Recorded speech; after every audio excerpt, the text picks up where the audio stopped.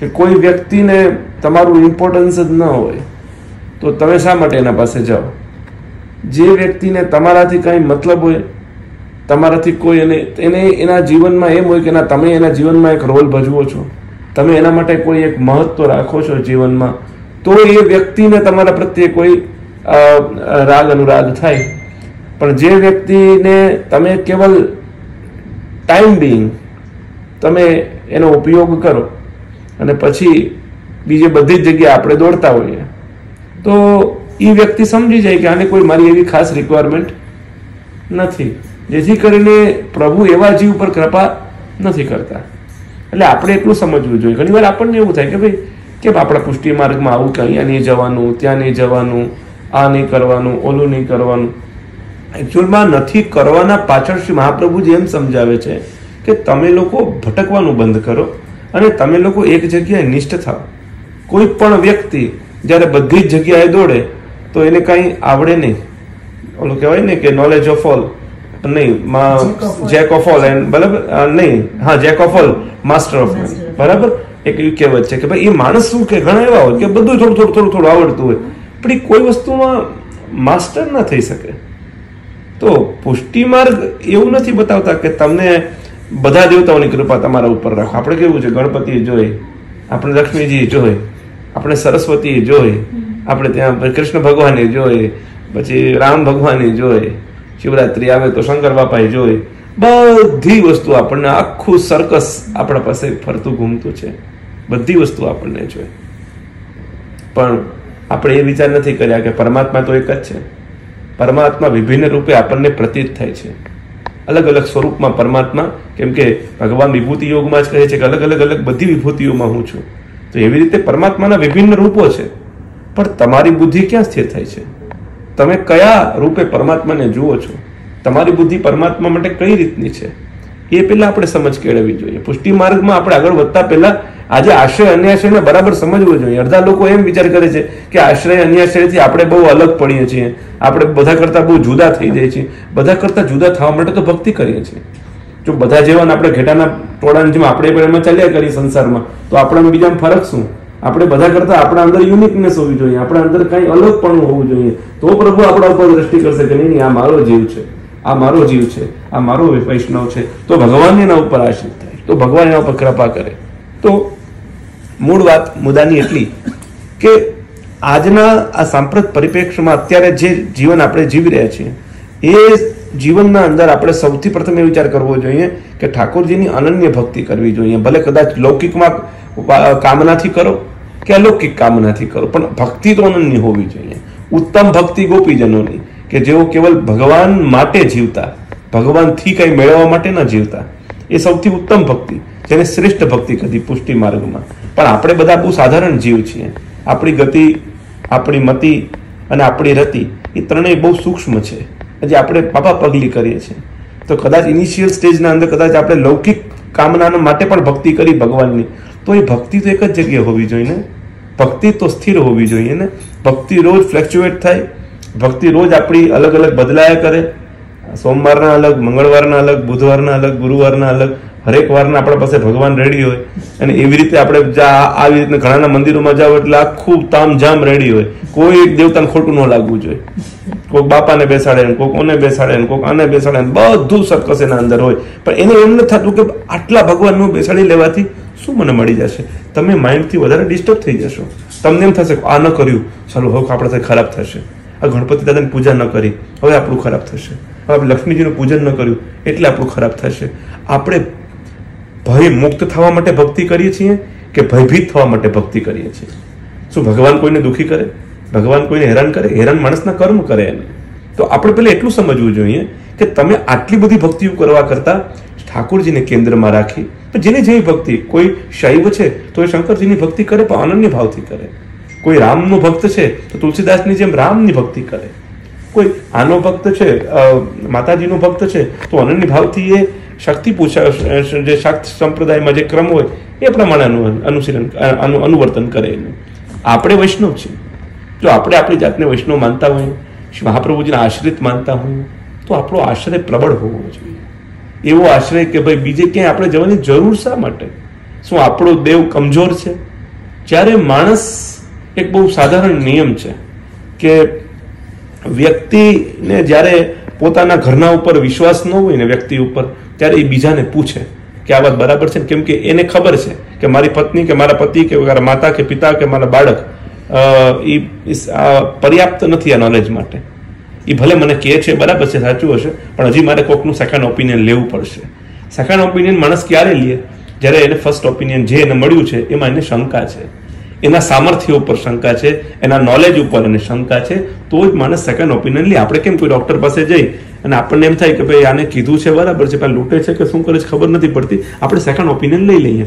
Second opinion that means કે તમે તમે એને, એના ઉપર તમે ટ્રસ્ટ નથી કરતા. જે ડોક્ટર છે એના ઉપર તમે સંપૂર્ણ વિશ્વાસ નથી કરતા. એના નોલેજ ઉપર, એની એબિલિટીઝ ઉપર તમને વિશ્વાસ નથી. પછી લૌકિકમાં ચાલે. અલૌકિકમાં એવું થોડી હોય. અલૌકિકમાં તમે શ્રીજી બાબાને સર્વસ્વ માન્યા. તમે શરણાગતિ લીધી. તમે બધું તન, મન, ધન બધું પરિવાર સહિત સમર્પયામી. એમ કહી દીધું બધું આત્મનાશ સમર્પયામી. બધું તારા ચરણામાં અર્પિત કરી દીધું છે. એ કર્યા પછી પણ હજી આપણને એમ જ થાય કે હજી આ કરી લઉં. હજી હું પ્રધિ સિદ્ધિ મેળવી લઉં. હજી હું ફલાણી વસ્તુ મેળવી લઉં. બધું જ દેનારા શ્રીજી બાબા છે. બધું જ કરનારા શ્રી ગોવર્ધનનાથજી છે. બધા જ દેવતાઓ એમના ચરણારવિંદના આશ્રિત છે. એમના ચરણ પકડો ને, એટલે સઘળા સુખો મળી જશે. એના માટે પાંચ જગ્યાએ દોડવાની જરૂર નથી. તો આપણે એ જ વસ્તુ જો આપણા જીવનના અંદર આવે અને આપણે આશયને બરાબર રૂપે સમજી શકીએ, તો ભક્તિ આપણી પ્રબળ થઈ શકે, તો ભક્તિમાં આપણે આગળ વધી શકીએ. અને જો ભક્તિ સકામ હોય, તોય ભલે, નિષ્કામ હોય, તોય ભલે, પણ અનન્ય તો હોવી જોઈએ. એમાં બદલા બદલી ના થવી જોઈએ. એવું મારું તમને કહેવાનું છે. અને મહાપ્રભુજી આપણને શીખવાડે છે. મહાપ્રભુજી આપણને સમજાવે છે. સ્વયં ભગવાન પણ ગીતામાં કહે છે, અનન્ય ચિંતયંતોમાં એ ભક્તા પર્યુપાસતે. જે જીવ મને અનન્ય ભાવથી ભજે છે ને, એના ઉપર જ પરમાત્મા વિશેષ રૂપથી કૃપા કરતા હોય છે ને, જે રોજ અલગ એક સાધે સબ સધે, સબ સાધે સબ જાય. એમ આપણે ત્યાં કહેવાય, એક સાધીએ ને તો બધું જ સધાઈ જાય. અને બધું સાધવા જાય ને, તો એકે હાથમાં આવે નહીં. એટલે અમે એમ નથી કહેતા કે તમે માન લો કે પારંપરિક ગણપતિ પૂજન હોય, પારંપરિક સરસ્વતી પૂજન હોય, પારંપરિક લક્ષ્મી પૂજન હોય, એ આપણી પરંપરા છે. પરંપરા અલગ વાત છે. એક ઈષ્ટ પૂજા અને શિષ્ટ પૂજાનો વિવેક વૈષ્ણવના અંદર હોવો જોઈએ. ઘરમાં પ્રસંગ આવ્યો, લગ્ન આવ્યો, તો કુળદેવીનું સ્થાપન થાય, એ પરંપરા છે. એ વેદની આજ્ઞા છે. શાસ્ત્રની મર્યાદા છે. પણ એ ભક્તિનો પ્રકારમાં ન હોવું જોઈએ. એ આશ્રયના પ્રકારમાં ન હોવું જોઈએ. એ કેવલ ને કેવલ મારું રીત છે. મારા ઘરની પરંપરા છે કે મારા ઘરમાં ગમે ત્યારે કોઈ પણ વ્યક્તિને લગ્ન થાય તો ગણપતિ સ્થાપન થાય. એ આપણી વૈદિક પરંપરા છે. કરવાનું. કુળદેવીનું સ્થાપન થાય, કરવાનું. એ પરંપરા છે. પણ તમે એમ વિચાર કરો કે કુળદેવીને રોજ દીવો કરવો જરૂરી? કુળદેવીને રોજ નૈવેદ્ય ચડાવવું જરૂરી? આ બધું જ કરવું જરૂરી? એવું ક્યાંય નથી. આપણી સમજણનો અભાવ અજ્ઞાની વ્યક્તિનું આ પ્રતિબિંબિત છે આ વસ્તુ. કે જે વ્યક્તિ અજ્ઞાની છે ને, જેને હજી સમજ જ નથી કે હું શું કરી રહ્યો છું. અને જે કેવલ ને કેવલ ખોટી પરંપરાને વળગીને બેઠો છે. કે આ પરંપરા છે તો કરવાની જ છે. એકચ્યુઅલી એવું નથી. આપણે એવી રીતે પરંપરાનો વિચાર કરશું, તો પછી મોટાઓ તો ઘણું બધું કરતા. બધું આપણે નહીં કરી શકીએ. આપણા વડીલો, આપણા મોટાઓ કેટલી બધું કામ, કેટલું બધું કામ કરતા. બધું આપણે થાય છે. સ્ટેપ બાય સ્ટેપ આપણે બધું એમાં એક્સપેક્ટ કરી જ ગયા બધું આપણે ને? હવે એમાં અમુક અમુક વસ્તુ આપણે થાય છે તો આપણે કરીએ છીએ. હવે આ દીવો કરીને, અહીંયા દીવો કરીએ. મતલબ બુદ્ધિને લગાવો કે આટલા બધા ડરીને ન રહ્યો. એવી રીતે રહ્યો કે મતલબ વૈષ્ણવ તો કેવું છે સુરાનો માર્ગ છે. સુરદાસજી જેવા ભક્ત છે અહીંયા. નાની મોટી વસ્તુથી કઈ વિચલિત ન થઈ જાય આપણે. ગમે એવી સમસ્યાઓ આવે, ગમે એવી તકલીફો આવે ને, ત્યારે સ્ટ્રેન્થથી ઊભું રહેવાનું ત્યાં. ક્યારે ડરવાનું નહીં વૈષ્ણવે. અને એમનું વિચાર કરવાનું કે આ હવે શું થશે? જે થવાનું થશે. ઠાકોરજી આપણો હાથ ચાલ્યો છે. વલ્લભે ગયો છે, મારો હાથ તેનો મને ભારી ભરોસો. એમ આપણે કહીશું મહાપ્રભુજી જેવા સમર્થ ગુરુ છે આપણા પાસે. તો આપણે ડરવાની જરૂર શું છે? અને શા માટે? અને તમે વિચાર કરો કે કોઈ ભગવાન સ્વયં કહે છે કે ભાઈ, હું બધામાં હું જ મુખ્ય છું. કૃષ્ણ ભગવાન સ્વયં કહે છે. તો એ પછી પણ આપણે કોકનું પૂજન ન કરીએ તો એ દુઃખી થાય? એ દેવતા આપણા ઉપર કોપિત થાય? કદાપી ન થઈ શકે. એટલે આપણે એટલી વસ્તુ આપણે સમજો, તો તમારી ભક્તિ બહુ જલ્દીથી આગળ વધશે. તમારા ઘરમાં સુખ શાંતિ આવશે, તમારી પ્રગતિ પણ થશે, અને અલૌકિક પ્રગતિ તો સો ટકા થશે, નિશ્ચિત થશે તમારી. તો એના માટે આપ સૌ એટલું ધ્યાન રાખો કે અનન્ય આશ્રય કરો ઠાકોરજીનો. ઠાકોરજીનો આશ્રય એવો કરો કે ખંતથી કરો, ક્યારે એમાં વિચલિત ન થતા. સુખ, દુઃખ જે પણ જીવનના અંદર આવે એ આપણા ભાગ છે, પણ એ બધામાં આપણો પ્રભુને એક જ વિનંતી કરવાની કે પ્રભુ મારો આશ્રય ન છૂટે. હું ક્યારેય કોઈ દિવસ ગમે સમસ્યાઓ આવી પડે ને, હું પાસ થાઉં ફેલ થાઉં, સફળતા મળે, નિષ્ફળતા મળે, કાંઈ પણ મારા જીવનમાં આવે, પણ આપનો આશ્રય ન છૂટે. આપના ચરણારવિંદનો આશ્રય એ સદૈવ મારા જીવનમાં બનેલું રહે. એ પ્રકારની જો ભક્તિ વ્યક્તિની હોય, તો એવા વ્યક્તિ ક્યારે પણ દુઃખ આવશે ને તો તમે આસામ આરા- આરામથી તમે પાર કરી દેશો. ઠાકોરજી તમને એ બળ પૂરું પાડશે. તમે જુઓ ને, ઘણીવાર એવા એવા દુઃખ જીવનના અંદર આવે ને કે આપણને એમ લાગે, આ દુઃખ કેવી રીતે આપણે સહન કરવા? કે આવા દુઃખ કઈ રીતે આપણે આપણા જીવનમાં આપણે એને આપણે લાગતું જ નથી કે આપણે આને સહન કરી શકશું. પણ છતાંય તમે જોજો, મોટાએ કરેલા સત્કર્મો, આપણે કરેલા સત્કર્મો, આપણે કરેલું ભગવત નામ ભગવત સેવા એ એવા સમય એવી એવું કામ આવશે તમને એમ લાગશે કે મેં સહન કરી લીધું આટલું બધું. ત્યારે તમને બહુ અઘરું પડશે, પણ એક સમય તમે જોજો પોતાના જીવનને. તમને એમ લાગશે કે આટલું બધું તમે પાર કરી ગયા. જે પાંડવો કેમ સહજતાથી કૌરવોની સેનાને પાર કરી ગયા? એમ તમે પણ આ દુઃખથી બહુ સહજતાથી તમે પાર કરી જશો. પણ ત્યારે જ્યારે તમારો આશ્રય પ્રબળ હશે પ્રભુમાં તમારી શ્રદ્ધા આવે હશે અને એવું નથી, એ બધું જ ચમત્કારો તમે તમારા જીવનમાં જોયા પણ હશે, પણ તમે જાગૃત નથી. તમે પોતે એ એ પ્રમાણે પોતે તમે એ સમજવા તૈયાર નથી. તમે પોતે પોતાના જીવનના ફ્લેશબેક થઈને જુઓ કે તમારા જીવનમાં ઘણા બધા એવા ઓબ્સ્ટેકલ્સ આવ્યા હશે લાઈફમાં અપ્સ એન્ડ ડાઉન આવ્યા હશે, કે એ અપ્સ એન્ડ ડાઉન એવા હશે કે કોઈ સાધારણ માણસની તાકાત નથી કે એને સહન કરી દે પણ છતાંય તમે બધું જ કરી ગયા. તમે બધી રીતે આગળ વધ્યા. કેમ? ગુરુદેવ મહાપ્રભુજીની કૃપાથી ઠાકોરજી આપણો આશ્રય છે, ઈષ્ટદેવ આપણા પ્રભુ છે, એમની કૃપાથી. સો ટકા થશે અને કદાચ ક્યાંય ન સહન કરી શક્યા, કેમ કે તમારો આશ્રય પ્રબળ નથી. જે વ્યક્તિનો આશ્રય પ્રબળ હશે ને, એને દુઃખ ગમે એવા આવશે ને, એને અસર નહીં કરે. એ દુઃખથી વિચલિત નહીં થાય. એ દુઃખથી ક્યારે એ હતાશ નહીં થાય જીવનમાં. એ ક્યારે બેસી નહીં રહી એક બાજુ. કે ચાલો હું હવે મારે કઈ કરવું જ નથી ને, મારે તો હવે આપઘાત કરી લેવો મારે તો આ કરી લેવું મારે તો મૂકીને જતું રહેવું કાંઈ નથી કરવું. જે પરિસ્થિતિ છે પરિસ્થિતિમાં મારે રહેવું છે. પ્રભુ મને સહન બધું જ બળ આપશે.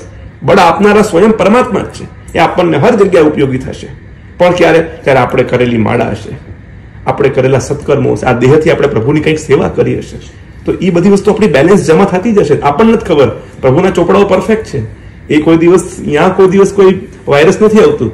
એ ચોપડામાં બધું જ બરાબર લખાઈ રહ્યું છે. તમે પાપ કરો છો એ બરાબર ચિત્રગુપ્ત લખી રહ્યો છે બધી જ વસ્તુઓ.